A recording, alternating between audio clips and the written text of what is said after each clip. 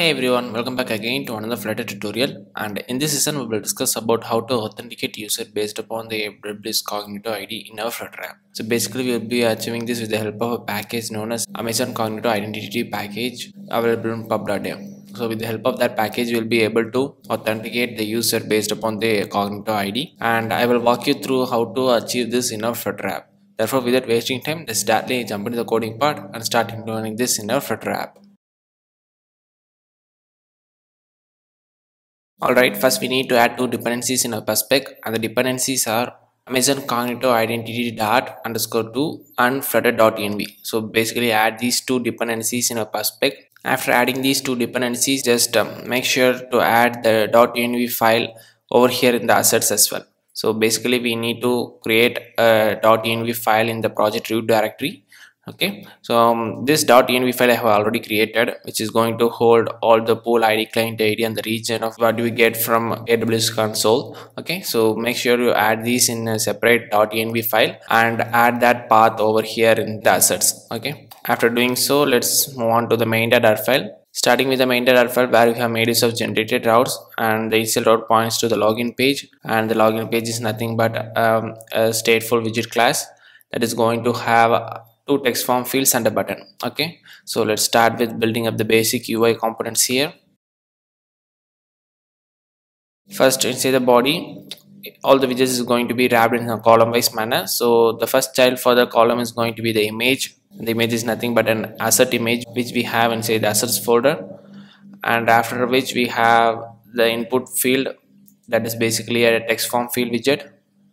Okay that is going to accept the username which is the email id in our case and again a padding spacing after which we have another text form field that is going to accept the password. All right? And finally we are going to have the primary button which is going to be the login button and upon clicking this button we need to make a call to the AWS by passing the username which is the email ID and the password. And the AWS will do the rest of the login process. It also checks for validations like um, is empty is, is the email ID valid or not and all those stuff. The AWS handles the rest. Okay? So you just need to pass that email ID and password over to that AWS Cognito. Okay? So let's start defining that AWS functions right away.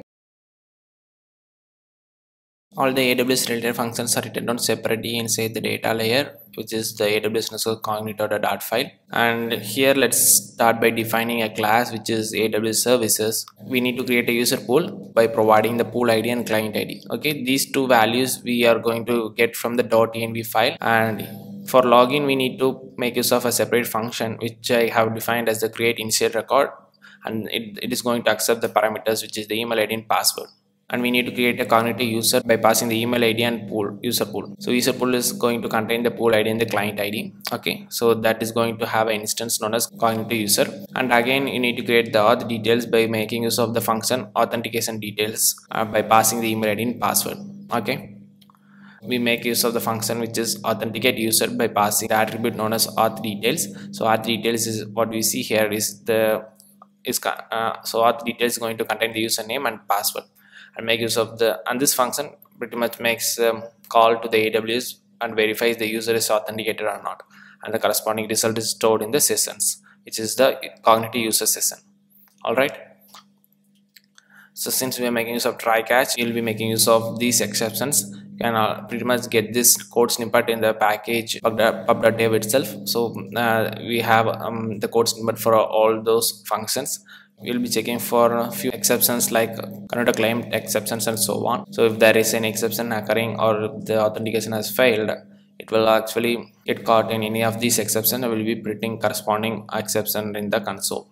Alright this completes the core logic of making an call to the AWS Cognito and authenticating the user. So let's make use of this function right away in the login button and call that upon the on press event so let's create the login function and try to call that AWS service and authenticate the user. So the login function is going to uh, call that create initial record method by passing the email and password. Since I haven't provided any user pool ID or cognito ID in the .env file, I won't be able to show up uh, the live tutorial how it works.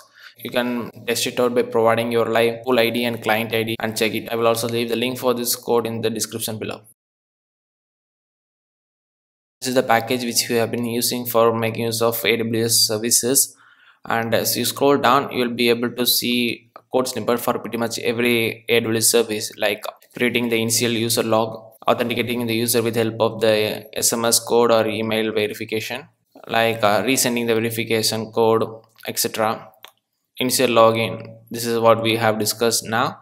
That is log making the user to log in based upon the username and password so this package has uh, multiple use cases like uh, verifying the user verifying the authenticated user or create deleting the user attribute so on and so forth.